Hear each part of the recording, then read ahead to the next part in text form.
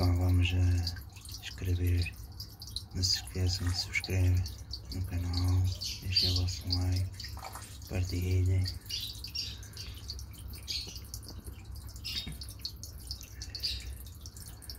E um obrigado a todos que têm lá passado e o feito.